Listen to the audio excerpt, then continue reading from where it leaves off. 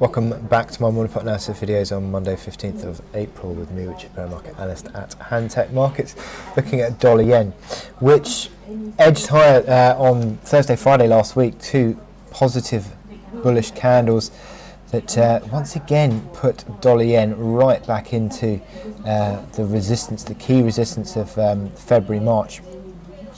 1190 was the March high, 11, uh, sorry, 1210 was the late March, uh, sorry, early March high, then mid March high was 1190.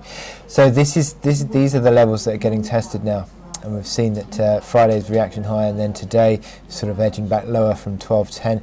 Interesting that it's all coming out underneath the old overhead supply from November and December lows. So this is the crucial point. You do have this uptrend that is forming, and you've got a run of higher lows um, in the last couple of weeks that is developing into this um, this sort of squeeze towards that resistance.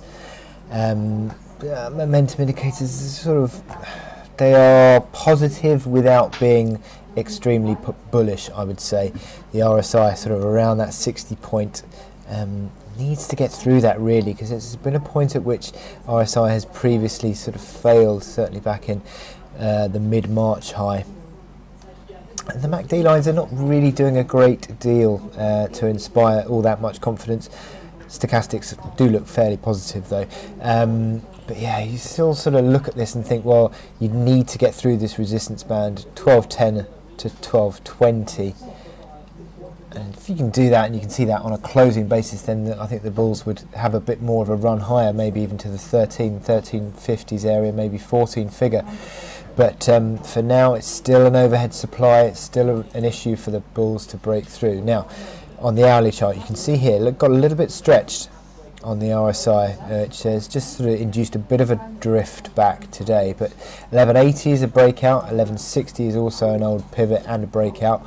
So a couple of levels which would suggest a buying opportunity between 1180, uh, sorry, 1160 and 1180.